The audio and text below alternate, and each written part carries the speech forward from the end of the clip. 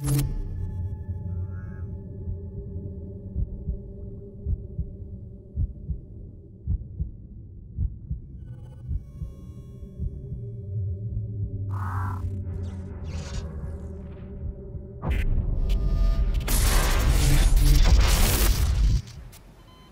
how beautiful.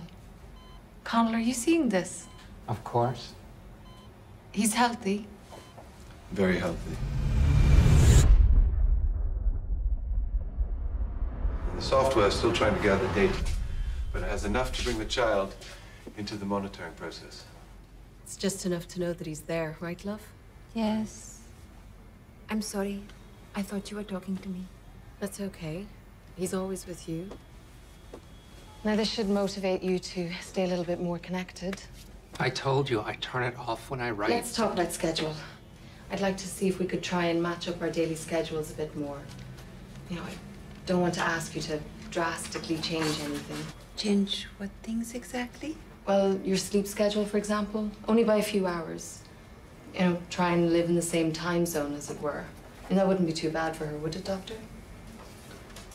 Excuse me?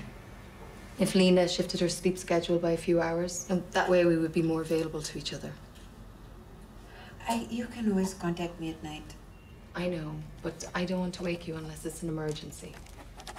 I understand it's a lot to ask, but the way it is now, I'm only home from work an hour before you go to bed. And I would change my schedule if I could, but work just won't allow it. Doctor? Hmm. Well, how would you suggest it? Well, if she does it gradually over a weekend, it should be fine. I mean, I'm always available to you during my workday, and Connell too. But you know what I mean, right? Of course. Actually, do you mind if I excuse myself for a minute?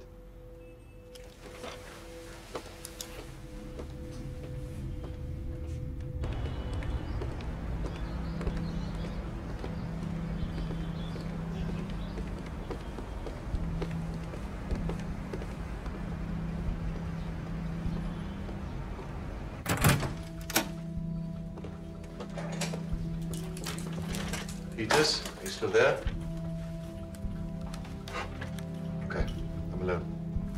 Continue. Please refrain from that kind of tone. You're speaking to me as if I don't want this chip gone just as much as you do. No, no, Peters, let me finish. Monta, Ichiro, we all want it gone. And by now, everyone should recognize the child's importance to that. Once Monta embeds your Sumi application in Delina's H Plus account, you'll be able to study the child yourself. Perhaps then you'll believe me. His DNA will rid us of this sickness.